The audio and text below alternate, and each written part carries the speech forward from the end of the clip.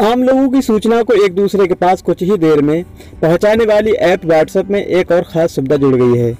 अब से user WhatsApp के ज़रिए डिजिटल पेमेंट भी कर सकेंगे। फेसबुक इसके लिए डिजिटल मॉड्यूल तैयार कर रहा है। फेसबुक के मुख्य कार्यकारी अधिकारी मार्क जुकरबर्ग ने खुद इस बात का ऐलान किया है। जुकरबर्ग ने कहा है कि भारत में पेमेंट गेटवे व्हाट्सएप पे जल्द ही लॉन्च किया जाएगा। जुकरबर्ग ने कहा कि कंपनी वैश्विक बाज़ार के लिए डिजिटल पेमेंट पर का कम है। परेशानी ये थी कि भारत सरकार ने डेटा के स्टोरेज को भारत में ही रखने की मांग की है। इसलिए अब इस पर नए सिरे से काम किया जा रहा है। इसमें कोशिश की जा रही है कि व्हाट्सएप जैसे चैट की गोपनीयता बरकरार रहती है, वैसे ही पेमेंट में भी हो। फ़िलहाल जुकरबर्ग ने लॉन्च की डेडलाइन बताने से इनकार कर दिया है।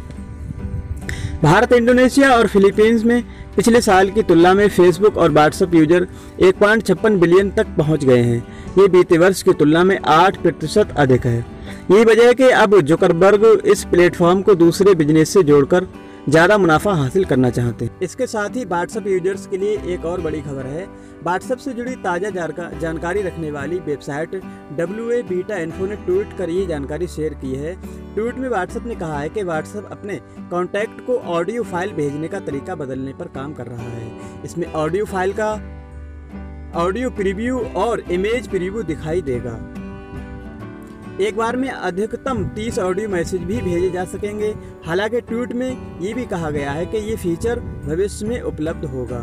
ट्वीट के साथ नए फीचर की तस्वीर भी पोस्ट की गई है। इस तस्वीर में ऑडियो फाइल्स भेजने का तरीका वर्तमान डिज़ाइन से थोड़ा अलग नज़र आ रहा है। साथ ही एक साथ 30 फ़ाइल सिलेक्शन की बात भी दिखाई गई है। फ़िलहाल ये फीचर एंड्रॉयड ऐप के बीटा वर्जन पर ही उपलब्ध है। हालाँकि माना जा रहा है कंपनी जल्द ही इसे एंड्रॉयड और एस ऐप के लिए उपलब्ध करा सकती है। बता दें कि हाल ही में व्हाट्सएप ने दो बड़े फीचर्स जारी किए थे, इनमें एक फीचर पीआईपी यानी पिक्चर इन पिक्चर मोड था।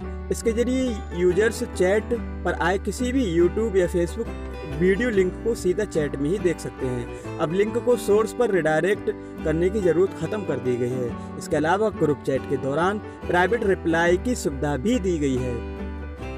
तो दोस्तों, कैसा लगा आप सबको हमारा आज का ये वीडियो हमें कमेंट बॉक्स में कमेंट करके ज़रूर बताएँ, और साथ ही कोई सुझाव है तो वो भी हमें ज़रूर दें और इसी तरह की लेटेस्ट न्यूज़ पाने के लिए व जॉब से संबंधित अपडेट्स पाने के लिए हमारे चैनल फुल जॉब अपडेट को ज़रूर ज़रूर सब्सक्राइब करें ख्याल रखें अपना, धन्यवाद.